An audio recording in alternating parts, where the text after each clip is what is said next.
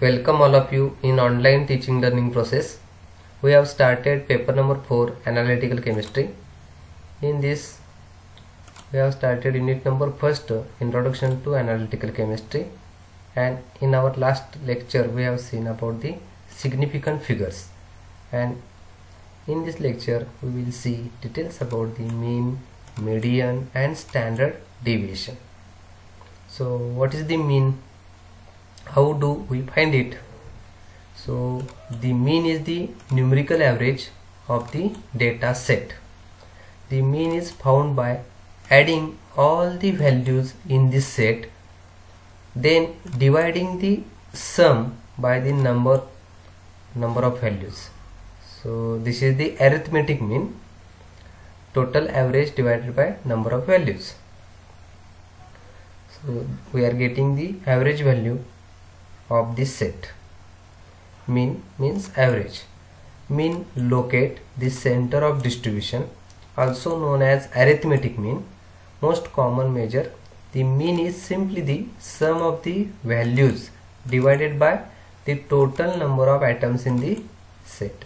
But it is affected by extreme value. Extreme value means if the set contains one of the value is more than normal one then average will be disturbed. So overall mean x is equal to summation of xi divided by n. That is number of atoms. Summation means x1 x2 and xn they are added together and divided by the total number of values. We are getting mean. Calculation of median individual series. So median can be calculated from the following data. Of the wages of seven workers compute the median wage. So the values are arranged in the ascending order. So to calculate median all the values are arranged in ascending or descending order. And median means size of n plus 1 by 10 uh, n by n plus 1 divided by 2 atom so here total number of values are 7 plus 1 divided by 2 so median means fourth atom. So here fourth atom is a 115 so this is the median. So overall mean means the arithmetic average of a replicate set of results. The mean is the numerical value obtained by dividing the sum of set of measurements by the number of individual results in the set number of results. It is also known as arithmetic mean or average. It is also called as arithmetic mean or average value. Average is the mathematical mean of the replicate determinations. If we consider a series of n observations arranged in ascending order of magnitude x1 x2 x3 to xn then the arithmetic mean or simply mean m is given by. m is equal to summation of all the values divided by number of values. Individual measurements divided by total number of measurements where m is individual measurement and total number of measurements. So we are getting mean. For example the results given by the replicate determination of chloride in a metal chlorides are suppose x1 is 32.22 x2 is a 32.64 x3 is a 32.52 and x4 is a 32.46 then sum of these four determination is 129.84 and number of values are 4 then m mean will be given by mean is equal to 129.84 divided by 4 is equal to 32.46 then what is median the middle value of a replicate set of results. Median means middle value. So median is a value of about which all the other are equally distributed from that value. Half the values are smaller and other half are larger than the median value. The mean and median may or may not be the same. They will be different or sometimes may be equal when various observations are arranged in ascending or descending order every observation holds a certain rank. One such point that divides the array into two equal parts so that exactly one half of the observations are below that value and half are above that point is called the median. So the determination of median in an individual series involves the following steps. First the data of results or observations are arranged either in an ascending or descending order and determine the median by using the relation n plus 1 by 2 atom where n is equal to number of observations in the series. So median means middle value of, uh, of a replicate set of results. For example suppose the data relating to the height of students in a class. So serial number of students and their heights. Suppose first number candidate having height 153 centimeter. Second number having 142 and if we go going ahead then 9 number having 154 so median median height or median can be calculated by arranging first the data in the ascending order. So we are arranging this order 142 lowest to 154 highest. Then median will be given by n plus 1 divided by 2 so 9 plus 1 divided by 2 that is 10 plus 2 10 divided by 2 that is fifth atom in the order. So here fifth atom in the order is 1 2 3 4 and fifth. So this is the the value of the fifth atom is 149 centimeter which is the median. So this is the calculation about the median. Then what is about standard deviation? So this is very important part. So we can explain this term on the basis of mean deviation and relative mean deviation. First we will see how to calculate mean deviation the mean deviation of a single measurement is the mean of the deviations of all the individual measurements.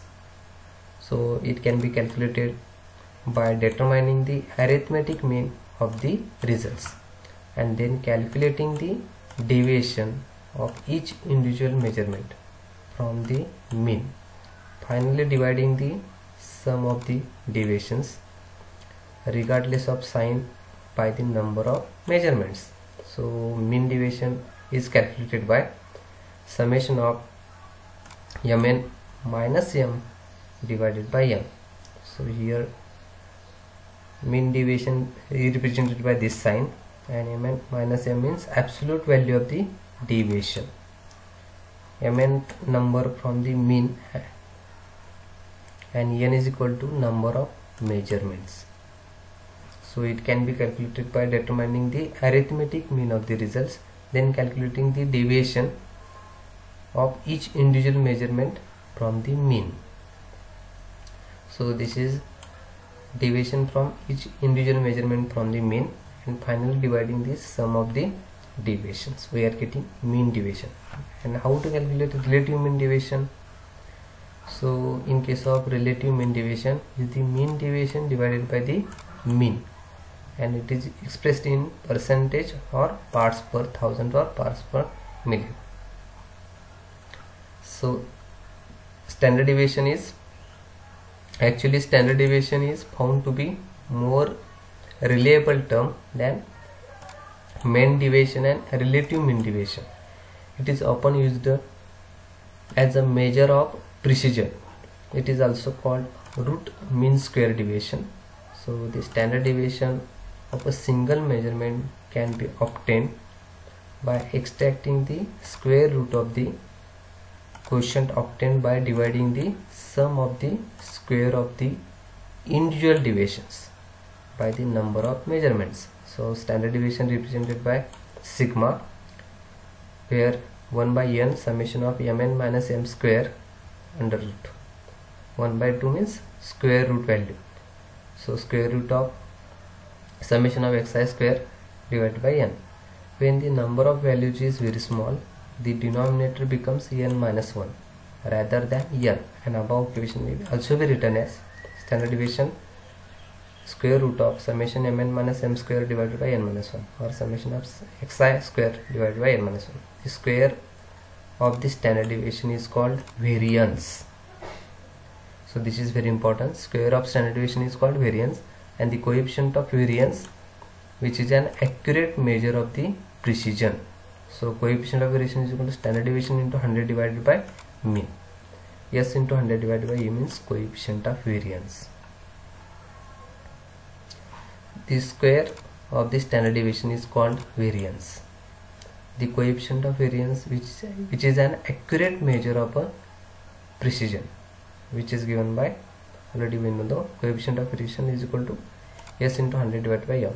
Another measure of precision known as relative standard deviation or st is given by standard deviation divided by mean is called relative standard deviation. Then we will some exam we will see one example. Standard deviation of the following set of analytical results 1.72 1.74 1.68 1.71 1.69 grams can be calculated as given below. First we are taking the mean value and mean is uh, that is uh, we are first we are taking their summations. So by taking their all the summations we are getting the summation 8.54 then mean is calculated. Summation divided by number of values 8.54 divided by 5 1.708 so values of mn minus m square are 0.000144 for first value because we know the m value 1.708 and mn means first value 1.72 divided minus 1.708 and their square so this is the first value similarly we are calculating another values and totally taking the summation and their summation of all their values. The summation is a 0.002284 then standard deviation is square root of this value divided by n square root of this value divided by the standard deviation is 0.02135 so these are the calculations of standard deviation. In uh, next lecture we will see some examples to determine mean median and standard deviation. So this is only theoretical part an actual example we will see in next, next lecture. So thank you all of you for listening this video